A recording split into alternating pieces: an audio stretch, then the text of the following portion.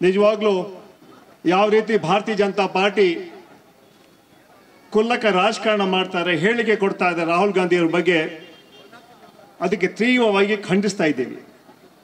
ನಾಚಿಕೆ ಆಗಬೇಕು ಇಂತಹ ಪದಗಳ ಬಳಕೆ ಅವ್ರದ್ದು ಇವತ್ತು ಯಾವತ್ತು ಇಂಡಿಯಾ ಸ್ಥಾಪನೆ ಆಯಿತು ದೇಶದಲ್ಲಿ, ಹಲವಾರು ಸುಮಾರು ಇಪ್ಪತ್ತಾರು ಪಕ್ಷಗಳು ಒಂದುಗೂಡಿ ಕೋಮುವಾದಿ ಭ್ರಷ್ಟಾಚಾರ ಕೇಂದ್ರ ಸರ್ಕಾರ ವಿರುದ್ಧ ಏನು ಹೋರಾಟ ಮಾಡಿದ್ವಿ ಆವತ್ತಿಂದ ಬಿಜೆಪಿಯವರಿಗೆ ಭ್ರಮಿಸಲಾಗಿದೆ ಇವತ್ತು ರಾಹುಲ್ ಗಾಂಧಿಯವರು ಸಮಾಜವನ್ನು ಕಟ್ಟುವಂತ ಕೆಲಸ ಮಾಡ್ತಾ ಇದ್ದಾರೆ. ಯಾವ ಪಕ್ಷಗಳು ಸಮಾಜದಲ್ಲಿ ವಿಷ ಬೀಜ ಬಿತ್ತುವಂತ ಕೆಲಸ ಮಾಡಿದ್ದಾರೆ ಅದರ ವಿರುದ್ಧ ಹೋರಾಟ ಮಾಡಿದ್ದಾರೆ ಸನ್ಮಾನ್ಯ ರಾಹುಲ್ ಗಾಂಧಿ ಅವರು.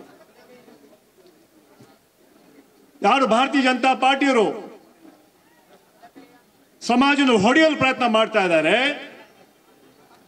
ಇದೇ ಸಂದರ್ಭದಲ್ಲಿ ಈ ದೇಶದಲ್ಲಿ ಐಕ್ಯತೆ, ಸಮಗ್ರತೆ, ಶಾಂತಿ, ಸಹಬಾಳ್ವೆ ಇರಬೇಕಂತ ರಾಹುಲ್ ಗಾಂಧಿ ಅವರು ಸಮಾಜವನ್ನು ಒಗ್ಗೂಡಿಸುವಂತ ಕೆಲಸ ಮಾಡ್ತಾ ಇದ್ದಾರೆ. ಇತಿಹಾಸ ನಿರ್ಮಾಣ ಮಾಡಿದ ದೇಶದಲ್ಲಿ ಸುಮಾರು ನಾಲ್ಕು ಸಾವಿರ ಕಿಲೋಮೀಟರ್ಗಳು ಕನ್ಯಾಕುಮಾರಿಯಿಂದ ಕಾಶ್ಮೀರವರೆಗೂ ಪಾದಯಾತ್ರೆ ಮಾಡಿ ಶಾಂತಿ, ನೆಮ್ಮದಿ, ಸಹಬಾಳ್ವೆ ಇರಬೇಕು. ದೇಶ, ರಾಷ್ಟ್ರ ಅಭಿವೃದ್ಧಿ ಆಗಬೇಕಾದ್ರೆ ಎಲ್ಲರೂ ಒಟ್ಟುಗೂಡಿ ಬಾಳಬೇಕು. ಆ ಸಂದೇಶಕ್ಕೂ ಸನ್ಮಾನ್ಯ ರಾಹುಲ್ ಗಾಂಧಿ ಅವರು ಕೊಟ್ಟಿದ್ದಾರೆ.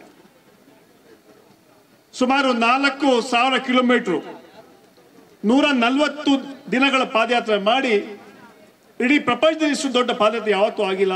ಅದ್ರ ಮೂಲಕ ಸಂದೇಶ ಕೊಟ್ಟಿದ್ದಾರೆ. ಅದಕ್ಕೆ ಭಾರತೀಯ ಜನತಾ ಪಾರ್ಟಿ ಸಹಿಸಕ್ ಆಗ್ತಾ ಇಲ್ಲ. ಏನಾದ್ರೂ ಮಾಡಿ ರಾಹುಲ್ ಗಾಂಧಿ ಬಗ್ಗೆ ಟೀಕೆ ಮಾಡ್ಬೇಕಂತ ಮೊನ್ನೆ ಒಂದು ಟ್ವೀಟರ್ ಅಲ್ಲಿ ರಾಹುಲ್ ಗಾಂಧಿ ರಾವಣ ರೀತಿಯಲ್ಲಿ ಬಿಂಬಿಸಕ್ಕೆ ಪ್ರಯತ್ನ ಮಾಡಿದ್ದಾರೆ. ಇದು ಧರ್ಮನ? ನಾಚಿಕೆ ಆಗ್ಬೇಕು ಭಾರತೀಯ ಜನತಾ ಪಾರ್ಟಿ ಮುಖಂಡಗಳಿಗೆ ನಿಮ್ಮ ಸಮಯ ಮುಗಿದಿದೆ, ಸನ್ಮಾನ್ಯ ನರೇಂದ್ರ ಮೋದಿ ಅವರೇ. ಜನ ಬದಲಾವಣೆ ಬಯಸ್ತಾರೆ. ಮುಂಬರುವ ಲೋಕಸಭಾ ಚುನಾವಣೆಯಲ್ಲಿ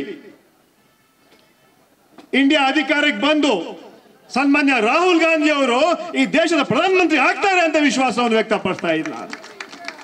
ಅದಕ್ಕೆ ಇಂತಹ ಹೇಳಿಕೆಗಳು ಕೊಟ್ಟು ಸಮಾಜನ ಹೊಡೆಯುವಂತ ಕೆಲಸ ತಾವು ಮಾಡ್ತಾ ಇದ್ದೀರಾ? ಆದ್ರೆ ತಾವು ಏನ್ ಮಾಡಿದ್ರು ಕೂಡ ಜನ ಇವತ್ತು ತೀರ್ಮಾನ ಮಾಡಿದ್ದಾರೆ. ಯಾವ ರೀತಿ ಕರ್ನಾಟಕದಲ್ಲಿ ಜನ ಕಾಂಗ್ರೆಸ್ ಪಕ್ಷಕ್ಕೆ ಆಶೀರ್ವಾದ ಮಾಡಿ ನೂರ ಮೂವತ್ತಾರು ಸೀಟ್ಗಳು ಕೊಟ್ಟರು ಅದೇ ರೀತಿ ಕೇಂದ್ರಗಳು ಕೂಡ ಇಂಡಿಯಾ ಅಧಿಕಾರಕ್ಕೆ ಬಂದು ಕಾಂಗ್ರೆಸ್ ನೇತೃತ್ವದ ಸರ್ಕಾರ ಬರುತ್ತೆ. ಇವತ್ತು ಈ ಪ್ರತಿಭಟನೆ ಮೂಲಕ ಈ ಸಂದೇಶ ಏನು ಕೊಡ್ತಾ ಇದ್ದೀವಿ ಅಂತ ಹೇಳಿದ್ರೆ, ತಾವು ಏನು ನೀಚ ರಾಜಕಾರಣ ತಾವು ಏನು ಮಾಡ್ತಾ ಇದ್ದೀರಲ್ಲ ಅದಕ್ಕೆ ಜನ ಸಹಿಸೋದಿಲ್ಲ, ಅದಕ್ಕೆ ತಕ್ಕ ಉತ್ತರ ಕೊಡ್ತಾರೆ ಅಂತ ಮಾತನ್ನು ಹೇಳ್ತಾ, ಇಂತಹ ಘಟನೆಗಳಿಂದ ಇವತ್ತು ಭಾರತೀಯ ಜನತಾ ಪಾರ್ಟಿಗೆ ಶೋಭೆ ತರುವಂಥ ಕೆಲಸ ಅವ್ರು ಮಾಡ್ತಾ ಇಲ್ಲ.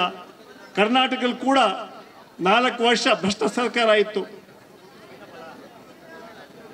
ನಾವು ನೀವೆಲ್ಲ ಸೇರಿ ನಿರಂತರ ಹೋರಾಟ ಮಾಡಿದ್ವಿ.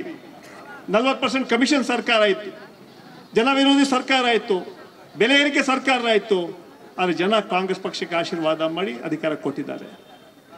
ನಾವು ಗೆದ್ದಿದ್ದೀವಿ ಅಂತ ಸೋತ್ರೆ ಕುಗ್ಗಲ್ಲ, ಗೆದ್ರೆ ಹಿಗ್ಗಲ್ಲ.